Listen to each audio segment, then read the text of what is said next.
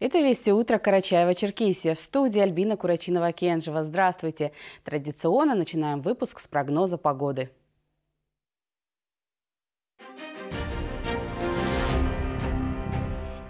Карачаево-Черкесии ночью преимущественно без осадков. Днем местами кратковременный дождь. Ветер восточный 5-10 метров в секунду. Температура воздуха ночью плюс 1, плюс 6, в горах минус 4 плюс 1, днем плюс 13-18 и местами плюс 5 плюс 10 тепла. Черкески без существенных осадков. Ветер восточный 5-10 метров в секунду. Температура воздуха ночью плюс 3 плюс 5, днем плюс 15-17 тепла.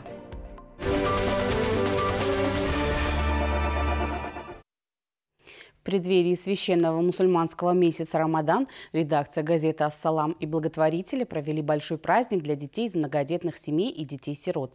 О том, как прошло мероприятие и кто помогал в его организации, в эти минуты в нашей студии мои соведущие Белли Джазаева расскажет основной инициатор праздника, известный спортсмен Мурат Коготов. Доброе утро всем. Доброе утро, Мурат. Доброе утро, Белла. Я благодарю тебя за то, что ты нашел время, пришел э, снова к нам в гости. Я знаю, что э, ты со своими друзьями проводишь очень много благотворительных акций, в том числе для детей-сирот, э, для деток из многодетных семей. И вот в преддверии э, священного праздника Рамадан вы провели очередное мероприятие. Мне бы хотелось узнать, где проходило последнее мероприятие, какова была программа, кто участвовал. Расскажи, пожалуйста. Последнее мероприятие у нас проходила э, база отдыха «Усадьба».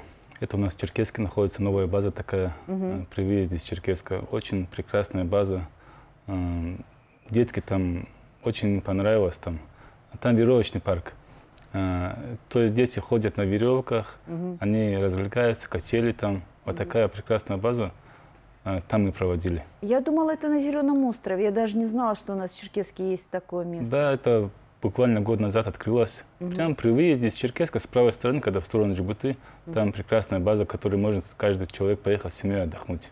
А это были дети из многодетных семей? А, у нас, а, можно сказать, мы всех охватили. В этот раз у нас были многодетные семьи, а, Центр «Надежда», угу. потом детский дом с Московского. Угу. И, можно сказать, никого не оставили. Ну, у вас и аниматоры были, и всякие конкурсы. Да, аниматоры с Кисловодска мы пригласили, они приехали там. А чья идея была? Ну, аниматоры, э, честно, уже не первый раз мы проводим, э, уже мы с ними работаем. Детям это очень нравится. Два больших робота, Бамблби, это дети ага. очень нравится. Угу.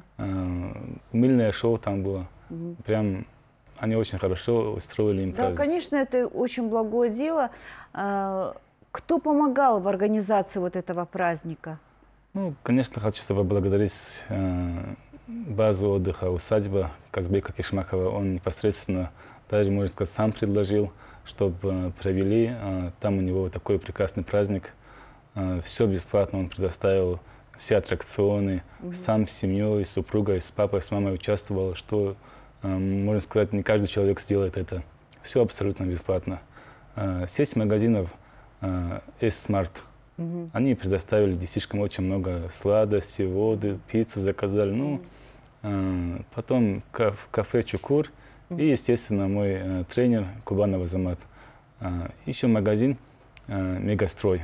Они все участвовали в этом. Кстати, если говорить про твоего тренера, я знаю, что ты также активно занимаешься спортом. Куда сейчас готовишься? Ну, сейчас у нас в ближайшее время чемпионат России будет, и там уже э, чемпионат мира дальше будем развивать. А где чемпионат России будет проходить? Чемпионат мира у нас в Москве проходит. Ты туда готовишься? Да. Ну что ж, я желаю тебе удачи в спорте, удачи вот в этих благих делах. А, спасибо, что нашел время, пришел сегодня к нам в гости. Вам спасибо большое. Спасибо. На этом я прощаюсь с вами, а через несколько минут в эфир выйдет информационный выпуск на абазинском языке. Затем вашему вниманию будут представлены программы абазинской редакции. В 14.30 смотрите «Вести» с Мадиной Лайпановой. Удачного дня и до встречи в эфире.